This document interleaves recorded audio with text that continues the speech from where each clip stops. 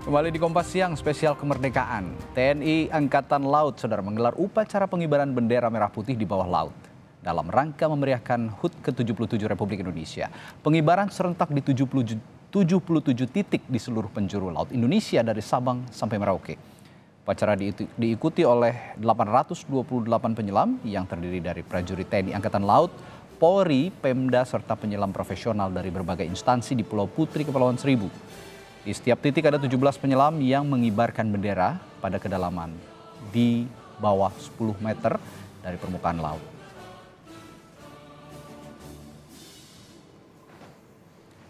Untuk informasi selengkapnya kita tanyakan jurnalis Kompas TV Asri Gunawan yang saat ini sudah berada di Kepulauan Seribu. Asri, bagaimana jalannya pengibaran bendera merah putih di bawah air serentak yang kabarnya hingga memecahkan rekor muri nih Asri?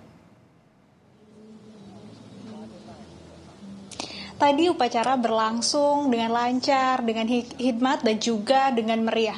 Nah, tadi pun langsung dipimpin oleh Inspektur Upacara yaitu Wakil Kepala Staf Angkatan Laut Laksamana Madya TNI Ahmad Heri Purwono, kemudian juga diikuti oleh pasukan upacara yang berjumlah 17 orang. Di antaranya ini adalah penyelam dari TNI Angkatan Laut dan termasuk tiga orang pengibar bendera merah putih. Tadi pengibaran bendera merah putih dilakukan tepat pada pukul 10 lewat 17 waktu Indonesia bagian bagian barat. Tadi juga diiringi oleh lagu uh, Kebangsaan Indonesia Raya. Kemudian yang menarik juga saudara ini uh, pengibaran bendera merah putih di bawah laut ini disiarkan secara langsung sehingga kami peserta upacara yang berada di darat bisa dapat uh, melihat langsung dari layar tayangan uh, siaran langsung dari bawah laut yang mana adalah prosesi pengibaran bendera sang merah putih. Kemudian juga tadi ada beberapa peserta upacara yang datang dari atas pertahanan dari beberapa negara.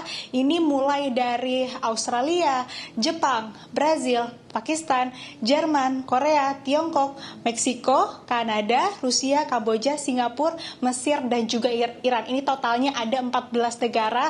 Uh, maksud kami adalah uh, wakil atas pertahanan dari 14 negara yang hadir ke sini untuk melakukan upacara pengibaran bendera merah putih di bawah air yang dilakukan oleh TNI Angkatan Laut. Nah, tadi juga sempat disebut memang ini prosesinya mencatat rekor muri dengan adanya pengibaran bendera merah putih di bawah air yang memang dilakukan secara serentak di 77 titik di seluruh penjuru laut Indonesia dari Sabang sampai Merauke, dari Pulau Mianga sampai Pulau Rote. Ini juga tadi uh, Wakil Kepala Staf Angkatan Laut setelah melakukan prosesi uh, pengibaran bendera di bawah laut, uh, kemudian naik ke atas dan menyapa seluruh personel TNI Angkatan Laut yang juga melakukan eh, prosesi ataupun upacara pengibaran bendera di titik-titik lainnya.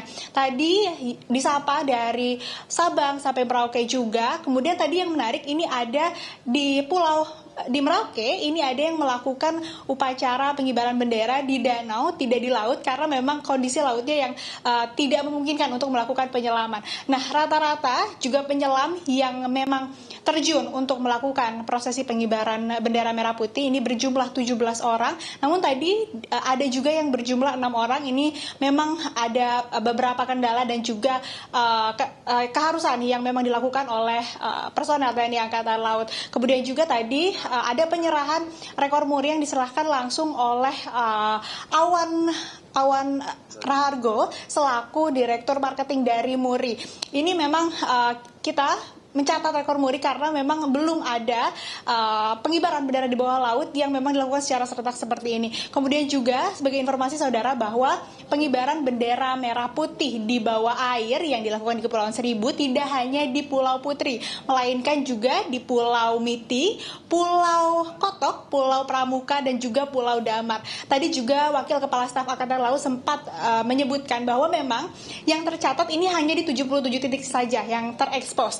Nah, namun pada realitanya kenyataannya ini lebih dari 77 titik karena memang antusiasme dari masyarakat Indonesia sangat luar biasa untuk melakukan upacara pengibaran bendera dari uh, bawah laut. Tadi juga disebutkan tidak hanya dari personel TNI Angkatan Laut namun juga ada dari beberapa instansi dari Polri, kemudian juga dari pemerintah daerah dan juga masyarakat yang langsung turun untuk melakukan upacara pengibaran bendera di bawah air. Radi. Ya, pengibaran bendera di darat, di tiang bendera sudah biasa, tapi kalau di bawah air tentunya butuh keahlian khusus dan ini sangat luar biasa menandakan bahwa TNI Angkatan Laut juga siap untuk menjaga teritori laut Indonesia di Hari Kemerdekaan Republik Indonesia ke-77 ini. Terima kasih Asri Gunawan dari Kepulauan Seribu melaporkan.